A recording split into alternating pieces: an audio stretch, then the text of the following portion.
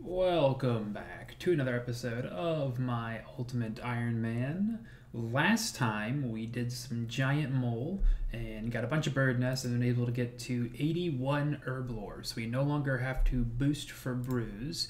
And uh, that is very good because I still have quite a bit of toad flax left. And uh, it was a, a bit of a hassle to do the bird nests on top of having to go and get uh, the Greenman Ale for boost.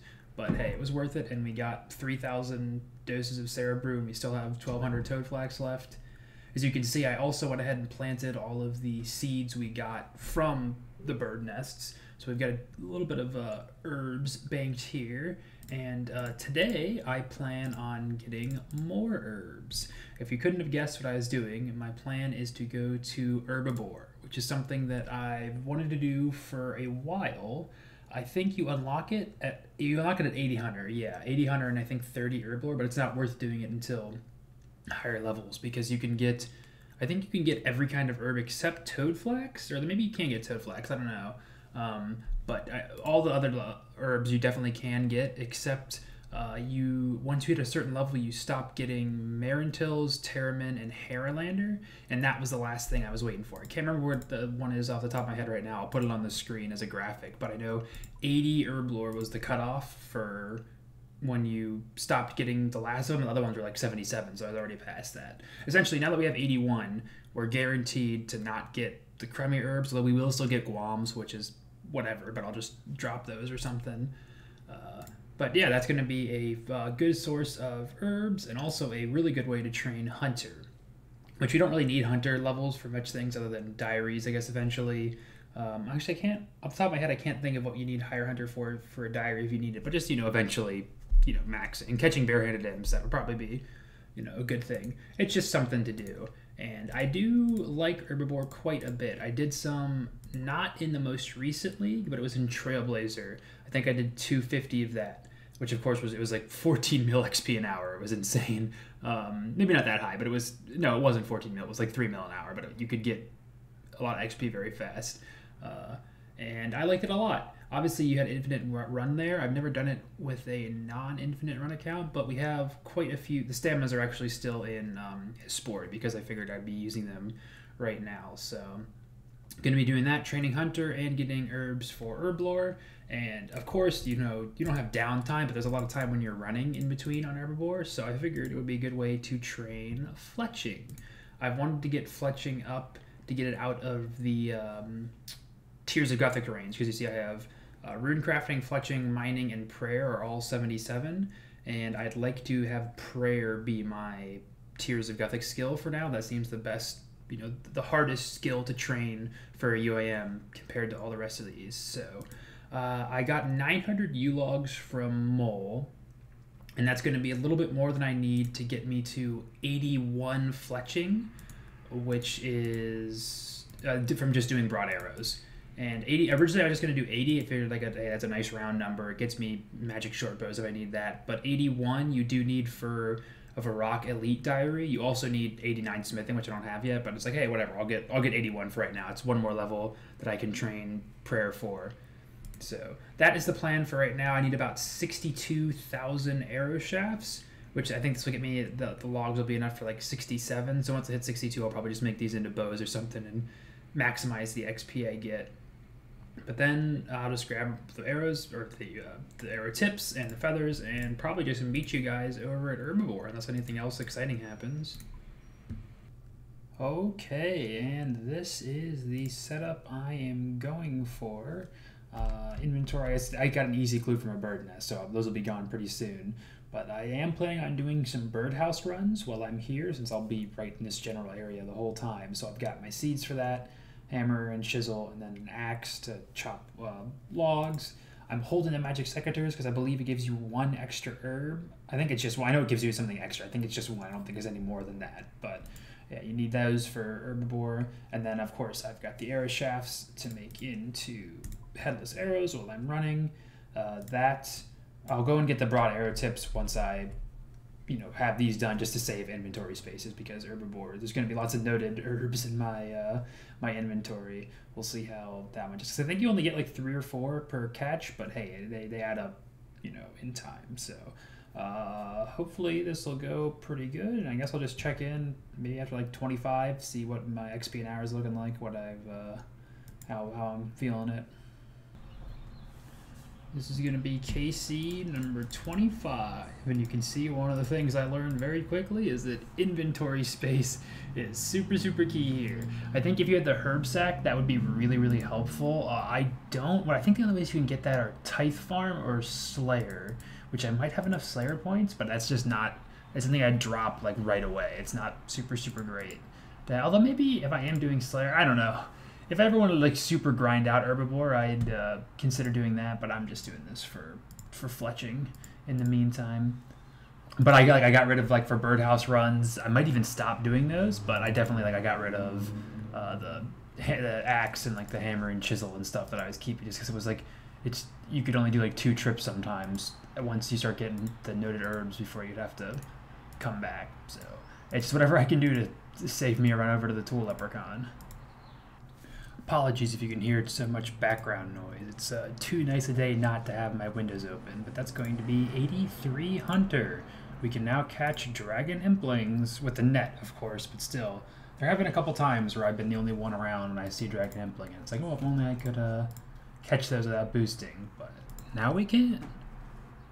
We're going to be coming in with KC 100 at Herbiboar and I'm a decent way through my arrows. Um, there's no math, I'm done, but I just, I think I estimate probably around 250. I'll be done with the broad arrows, assuming it takes as long to do the arrows, the tips as it to make the headless arrows, which I think is the case. I don't think you do them faster. It's just a lot more XP. So uh, it'll be a nice number to stop about where I, if I felt like I did a lot of it during the league, but I know I only did 250. Maybe I did 500 because this has all been one day so far, and even then I haven't been like doing it all in one session. So it's it's goes pretty fast, and you get good XP even in the main game. I will say I did stop doing birdhouse just because in, like I'm working with like nine open slots here, pretty much. It inventory management is not great for a, for a UIM. I probably could like obviously you know I don't I don't need to have the Haggerty saplings or the Calquat saplings or the uh, seeds anymore at this point but uh, I just don't want to go to the hassle of suiciding again. Or well, actually, I mean, I, I could put them in the looting bag. I have room right now, but like I'm eventually gonna need these, like tomorrow or the day after, you know, for farm runs and stuff. So might as well just keep them out. It's not the end of the world. Ugh, good morning, gamers. As you can see, I have moved on to the broad arrowheads, and it was almost 100% exactly 3.5 mil for all of these. So pretty expensive, uh, but we do have a lot of money in the Zone. And, and I also realized that uh, there's not really a reason for me to have my cash stack on me right now, so I can just dump everything in there. So we've got 55.3 mil in Nightmare Zone right now, and then I drop that, and that's one more space for herbs. That, now look at that, that is a lot of inventory space. Oh, actually, I'm to need one space open for whenever I start making the arrows, so not as much as I thought, but still a decent amount. And a very short amount of time later, after the last clip, we're about to get our first fletching level. The XP an hour is really, really going up since we started switching to the uh, arrowheads. Actually, what is that right now? 181k an hour, that's probably going to go down because my hunter's at 82 and I usually average out about 70 once I have a full, you know, routine going here not a hunter level milestone, but once I start fletching like one or two more of these, are going to have another level. What's that going to be? 79, I think? Yeah, 79 fletching.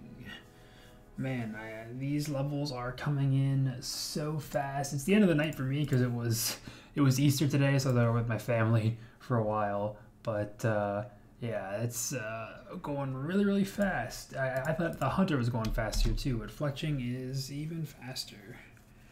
It's just a very boring skill to train, unfortunately. 180 Herblore KC Herblore. Oh my gosh, that that threw me for a loop. I'm sorry. I, I didn't think I'd get the level. I thought you got the XP when you attacked the herb or harvested the herbiboar, and not when you just hit attack the tunnel. But I was wrong. Anyway, 84 Hunter, 180 Irby KC, and uh, with 84, it wouldn't have been a message anyway because it's barehanding and impling, but we can now barehand ninja impling. So That's not uh, super cool or anything, but it does mean that I can go over to the Implings plugin here and I can change Ninja Implings to highlight because now we can barehand them, which just means they're decent alchables. I don't even know if this is like interesting enough for a clip, but it's it's not a level. It's just 200 Herbiboar KC because there's not really any like milestone that we're going for. Really, it's just kind of the only thing is you you got the pet as a one in three thousand drop, I think, and it's just kind of something I'm doing until I get the fletching level I want. It is the dawn of hopefully the last day, and we're starting out with 80 fletching. We can now make magic short bows which uh, that'll be good if I ever do like uh, wildy stuff. I want to go back to Venenatis at some point to get my D pick eventually. I don't know, and that'll be a good way. Now I don't have to go and worry about making dragon fruit pies to boost. I can just make a uh, magic short. We're in a good spot actually because I can make a magic short bow. I can make black D hide now. We're in a really great spot for uh, wildy content.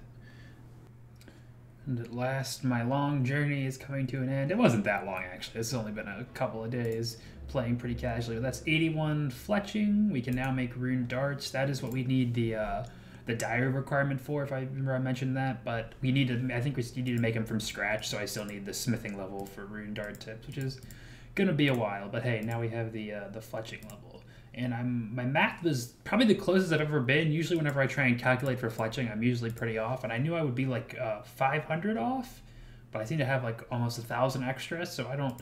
I always do something a little wrong in my calculations. It's probably I think I just messed up however much I would get from making. Oh no, I know what it is. So I calculated my fletching level before I'd even turn my yew logs into. Uh, to arrow shafts. So I made enough arrow shafts, but then I made I still had like a hundred some logs left over, and I made those into long bows, so that that bumped me up and maybe not need as many arrows. So not a huge issue. Uh, I probably could have saved you know a couple thousand GP, but I'll just turn it into fletching experience real quick. And you see we got just about just over 250. 250 was my estimate for how many herbiboar we would get. Uh, but I started going kind of slow, like focusing more on fletching and less on herbiboar. So, or actually, no, the, the, the opposite, where I'd, I'd be kind of casually doing more herbiboar, especially when I'm I got to the, near the end. Like you see, I'm, I'm walking right now. I didn't end up using staminas because uh, you could get more fletching done whenever you're walking. But I I AFK so much sometimes, where like my run would already be almost fully recharged by the time I was back. So then I just wouldn't get much fletching done in between. But uh, I'll probably just go to maybe like 260 or something, and on a nice even number. And then I'm not really sure. I have an idea of what I want to do next, but I don't know if I'm going to start it right away. I'm going to be going out of town uh, after this video is uploaded. I usually have been uploading on Fridays, so I'll probably already be out by then, just for a couple days. But still, I want to make sure I have something that I can like AFK in that time, and I think my plan will work, but we'll see. A long time no see at the uh, Master Farmers here. But yeah, uh, wasn't too long ago we were here. My original goal was to try and get 84 Herblore so that we could boost up to the uh, pool, uh, the max pool and the POH. And I would still like to do that. And it kind of feels weird to just like, you know, half-ass it, you know, where it's like I did a decent chunk of Herblore XP.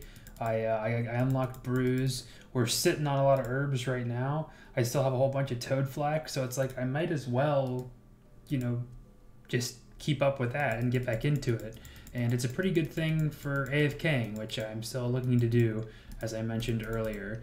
Uh, I don't want like if I wanted to do super AFK, I would just do like redwood trees. But I, will be like active. It's just you know I'm on my laptop. I'm not gonna be able to. I don't want to do anything that's like super super intensive, like a boss, you know, or Slayer or something like that. So I think that is a good compromise.